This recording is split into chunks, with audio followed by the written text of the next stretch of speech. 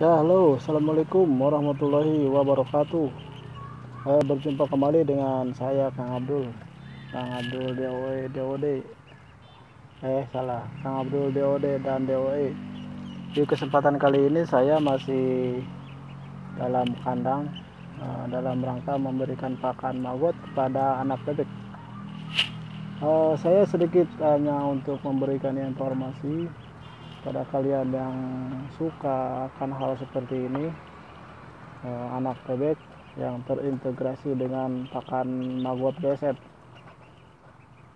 sedikit informasi eh, untuk kalian yang mau membuat kandang seperti ini ya sini ya kandang di kolongnya itu untuk magot beset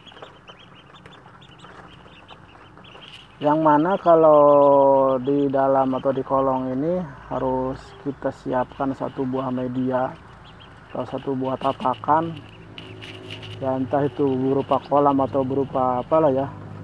Di depannya harus eh, diatur kemiringannya. Jadi di balik sini itu dia harus agak landai sedikit karena untuk tujuannya untuk e, migrasi si maggot atau yang yang mau jadi pupa. Karena si pupa itu akan mencari e, satu ketinggian dia untuk e, mencari tempat kering lah ya. Dia akan keluar hasilnya dari media itu dari media basah mencari keluar lalu dia akan berdiam diri atau mencari sela-sela yang sedikit gelap Nah biasanya kalau sudah terdiam di satu tempat gelap dia akan ber apa ya berubah bermetaproposi jadi lalat. Nah setelah jadi lalat baru kita masukkan ke dalam kelambu atau ke dalam penangkaran dengan tujuan untuk e, agar si lalat itu mau bertelur dan telurnya kita tetaskan. Oke nanti saya tunjukkan siklusnya mulai dari awal netas umur ada saya punya umuran e, tiga hari dan ada yang seminggu lebih. Karena setiap tiga hari sekali saya panen telur. Nah di sini oh, yang umuran ini umuran 4 lima hari ya. Ya mulai baru netes kemarin hari saya panen itu hari minggu kalau nggak salah. Hari minggu apa hari sabtu ya? Ini masih di sini ada sekitar 10 gram. Ini masih baby juga.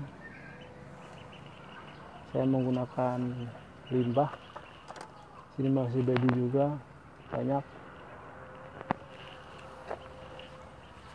Dan untuk prepupa untuk pupa ya saya menggunakan metode seperti ini yang kemarin saya posting tuh di YouTube di YouTube saya yang sistemnya hanya memberikan memberikan gambaran sedikit bahwa kita punya satu sistem yang biasanya eh, para peternak eh, yang sedikit yang rumahan tuh menggunakan sistem seperti itu. Dari media dimasukkan ke dalam media yang lebih besar agar si pupa yang sudah bermigrasi itu naik.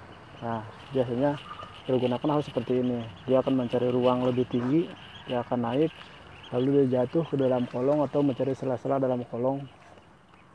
Mencari ruang sedikit yang lebih gelap ya untuk istirahat. Seperti ini ini ada, ada keberadaannya di dalam kolong itu. Oke nanti kita tutup lagi ini. Nah setelah menjadi pupa lalu saya masukkan ke dalam kelambu ini. Ini di dalamnya ada di kolongnya ada kolong rak ini. Ada satu tempat media untuk dia beristirahat atau bersemedi si pupa itu untuk free untuk istirahat. Dan di sini yang sudah jadi lalat sudah banyak. Dan media penetasan media peneluran media untuk bertelur bertelur itu menggunakan kayu yang di tengah-tengahnya ada sela-sela sedikit untuk memasukkan telur mereka. Dan di kolong ini di bawah ini di bawah media ini wadah ini saya simpan eh, media untuk pancingan bertelur. Ya karena bertelur kan menggunakan harus menggunakan media yang busuk atau bau sedikit yang bau ranum lah ya. Nah seperti itu. Nah setelah dari sini kita ambil telurnya yang dari sela-sela itu. Nah terlihat kan ada sela-selanya itu itu sedang bertelur itu. Nah setelah bertelur dari sana itu kita pindahkan. Nah setelah dari telur eh, saya tetaskan eh, di media ini media penetasan umur baru dua hari kalau tidak salah. Tuh, ini masih umur dua hari kalau tidak salah ya. Saya kemarin panen hari minggu kalau tidak salah. Nah setelah ditetaskan uh, tadi di media itu, lalu kalau sudah satu minggu atau lebih dari satu minggu yang sudah terlihat lah ya, baru kita masukkan ke dalam kolong dan kita kasih media ya atau kasih pakan. Uh, kalau untuk mengasih makan